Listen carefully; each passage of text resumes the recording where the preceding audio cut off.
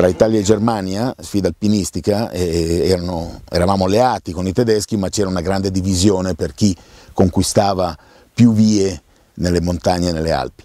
E, e qui c'è stata una sfida più grande delle altre, c'era un problema irrisolvibile, la cima ovest di Lavaredo, la parete nord, una parete strapiombante che aveva respinto perché c'era un traverso, tecnicamente si chiama così, a un certo punto si saliva lungo uno spigolo, poi bisognava attraversare per molte decine di metri e, e per poi risalire un, nella parte centrale della parete, ma non si sapeva se dopo lo spigolo si poteva salire e dallo spigolo non si poteva tornare indietro. Così nel 1900 fino al 1935 27 cordate, le più forti cordate europee, tedeschi in primo piano ma anche italiani, comici, i fratelli di Mai, Demez, eh,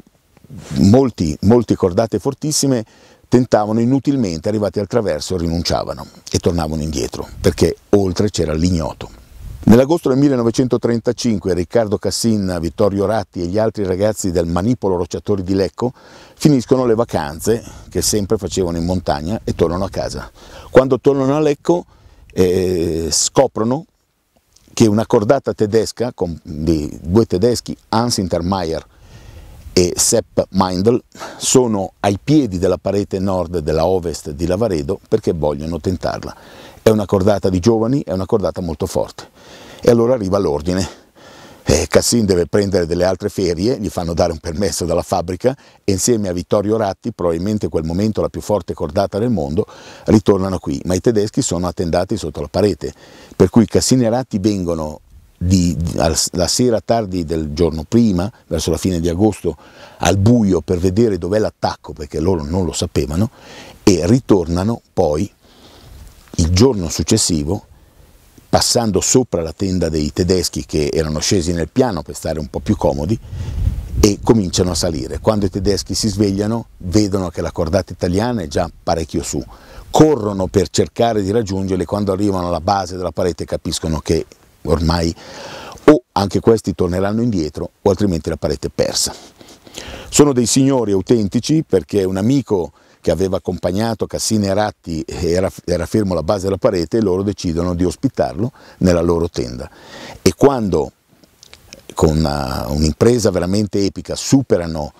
il famoso traverso e salgono nel, nello ignoto che non era più ignoto da quel momento lì e dopo due bivacchi, praticamente tre giorni di arrampicata, arrivano in vetta, quando scendono dalla via normale in fondo ci sono i tedeschi e l'amico Lecchese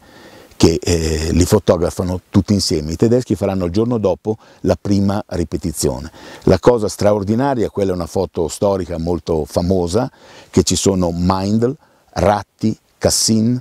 e Intermeier, cioè i due tedeschi si sono messi ai lati dei vincitori, mettiamoci le virgolette perché vincitori della montagna è una cosa che non, non piace neanche agli alpinisti, non piace neanche a me,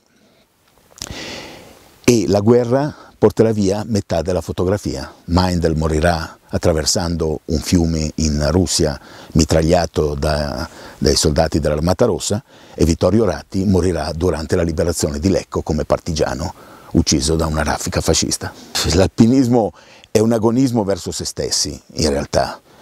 mai verso la parete, anzi la parete è normalmente amata dall'alpinista che ne è attratto, eh, però è la, la sfida contro se stessi, infatti il bello dell'alpinismo è conoscere bene i propri limiti, conoscere i propri limiti, non superarli e come diceva appunto il vecchio Cassin che non a caso è arrivato a superare i 100 anni, nella montagna bisogna avere paura, un po' di paura, perché la paura è l'anticamera della prudenza. Riccardo era un curioso e aveva saltato la generazione di quelli che io chiamo i riducisti, quelli che dicono ai miei tempi, i giovani di oggi, tutte queste cose qui. Riccardo era sempre aperto alle novità, addirittura mi ricordo che quando sono, hanno cominciato a usare i Friends e i Nuts per arrampicare, lui diceva, beh però proviamoli, vediamo, prima di, dire, prima di contestarli proviamoli. E dopo averli provati ha detto, vabbè, devo dire che rendono la vita più facile. Poi lui non li avrebbe probabilmente mai usati, ma non ha criticato. Ricordiamoci un particolare non secondario. La prima gara di arrampicata, gara vera, di arrampicata sportiva, che si è fatta a Parete dei Militi in Piemonte, i giudici di gara, tra i giudici di gara c'era Riccardo Cassin, l'unico alpinista scritto tutto in maiuscolo, che aveva accettato di fare una cosa del genere. Riccardo Cassin diceva che in montagna non si deve mai risparmiare su...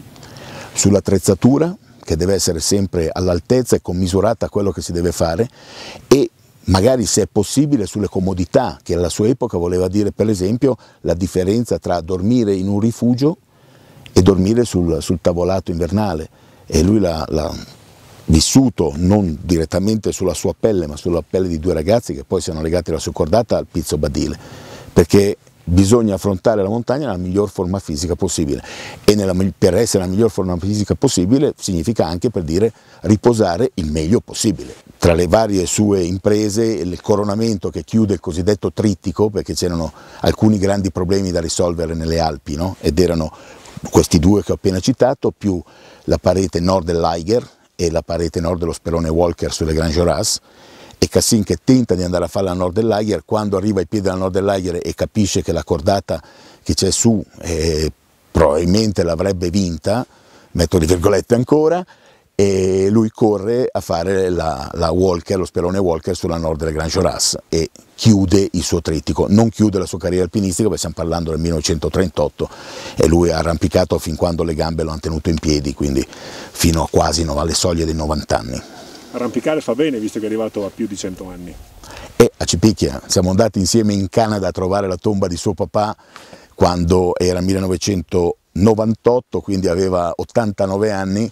e, ancora mi portava in giro nei boschi per fotografare gli alci e i cervi e si avvicinava con la macchina fotografica. Io ero un po' preoccupato perché dico se questo parte di scatto Riccardo non hai l'agilità per tirarti via? E lui mi risponde eh, perché il Gal de partì, perché deve partire e andava a mezzo metro a fare, a fare le foto delle facce di, di questi animali stupendi e, e giro nei boschi canadesi come un ragazzo con lo stesso entusiasmo